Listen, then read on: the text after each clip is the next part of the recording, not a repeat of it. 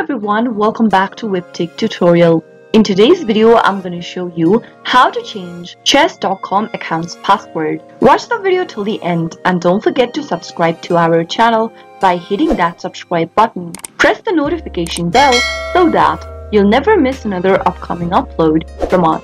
Open up a web browser to get started. In the web address bar, type in www.chess.com and press enter on your keyboard. If you're not logged into your account, make sure you do first. Once you're inside the main homepage for chess.com, go to the bottom left hand corner and mouse over to the settings button and click all settings. Once you open up the settings menu, scroll all the way down and click on the password option. Enter the current password for your chess.com account in the correct password text box.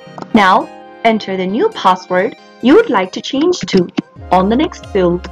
After you type in the password, go to the next field and retype in the password you are trying to change to and make sure both of the passwords in these two text boxes matches. Once you are done, click change password and soon after you do that, you'll be able to change your password for chess.com. Next time you log into your account, enter the new password you recently changed to to log in and access your chess.com account. That is how it can be done I hope the tutorial was helpful to you. If it was, go ahead and give us a thumbs up. I'll be back soon with more videos like this. Thank you for watching.